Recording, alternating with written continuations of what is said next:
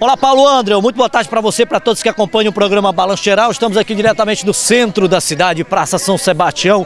Manhã de segunda-feira, super movimentada, claro. A gente veio acompanhar um pouco do trabalho do pessoal da Superótica. O que é está acontecendo aqui, Paulo? Eles estão realizando uma ação, né?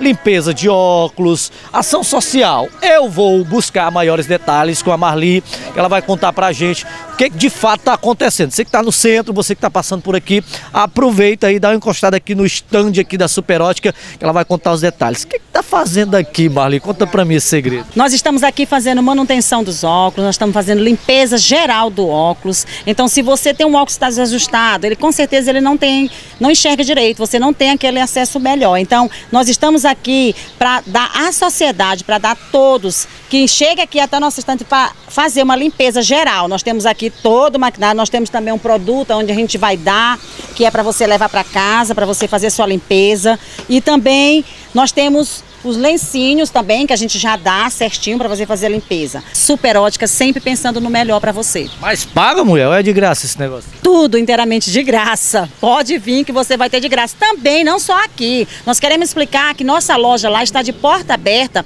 para fazer sua manutenção, mesmo se você não é nosso cliente, mas vá. Vá lá que a gente está fazendo essa limpeza, manutenção, fazendo o que você precisar. Nós estaremos lá para fazer o melhor por você.